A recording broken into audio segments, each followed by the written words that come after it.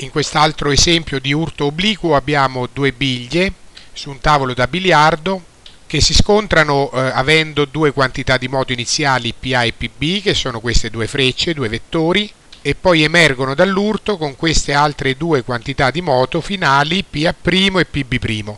Questo punto interrogativo sta a significare che dobbiamo verificare se questo disegno è corretto e lo è se eh, la quantità di moto totale prima dell'urto è uguale alla quantità di moto totale dopo l'urto, cioè se P totale e P totale primo sono due vettori uguali. Perciò dobbiamo sommare le due quantità di moto prima dell'urto e dopo l'urto. Le due quantità di moto sono questi due vettori, li riportiamo eh, mettendoli con l'origine in comune in questo disegno. Quando noi li mettiamo con l'origine in comune non dobbiamo oh, questi due vettori non dobbiamo modificarli né nella lunghezza né nella direzione, cioè nella loro inclinazione. Questo vettore deve essere traslato qua e quest'altro vettore PB deve essere traslato identico qua. Adesso che hanno l'origine in comune, con la regola del parallelogramma, eh, sommiamo queste due quantità di moto e abbiamo la quantità di moto totale che è questo vettore verde. Facciamo la stessa cosa con le quantità di moto finali, quindi trasportiamo senza modificare né lunghezza né inclinazione, trasportiamo questi due vettori PA' e PB' in quest'altro disegno. Sommiamo le due quantità di moto finali con la regola del parallelogramma e se troviamo che la quantità di moto totale, questa freccia verde, è uguale alla quantità di moto totale prima dell'urto, allora vuol dire che il disegno è fatto bene, cioè si è conservata la quantità di moto.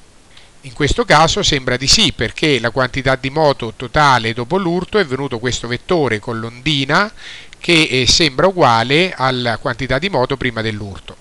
Tuttavia, date le due quantità di moto iniziali, possono eh, uscire le due biglie, uscire dall'urto anche con quantità di moto eh, diverse da prima quindi a parità di ingresso, diciamo così, anche le, le, le uscite invece possono essere diverse. Per esempio le due biglie potrebbero uscire con queste altre due quantità di moto, PA' e PB' diverse da queste disegnate qua. Cioè potrebbero uscire con queste altre due quantità di moto d'uscita. Infatti PA' eh, è questa e PB' è quest'altra. Eh, perché potrebbero uscire anche in quest'altro modo? Perché anche queste due quantità di moto finali eh, soddisfano la conservazione della quantità di moto totale. Se infatti andiamo a sommarle, PA' e PB', troviamo che la quantità di moto totale, P' tot, è sempre la stessa ed è uguale alla quantità di moto totale iniziale, quindi P tot. Quindi vediamo che a parità di eh, quantità di modo d'ingresso non c'è una sola uscita possibile, ma in realtà ce ne stanno infinite perché ci sono infinite uscite, quindi infinite coppie di quantità di moto, PA' e PB', che soddisfano la conservazione della quantità di moto totale. Dunque, con le stesse quantità di moto PA e PB dello stesso disegno di prima, l'uscita per esempio potrebbe essere questa anziché quest'altra. Il motivo per cui abbiamo infinite possibili uscite è che gli angoli d'uscita dipendono da quanto le biglie si colpiscono in pieno o si colpiscono di striscio, cioè in pratica dalla porzione di biglia che viene colpita.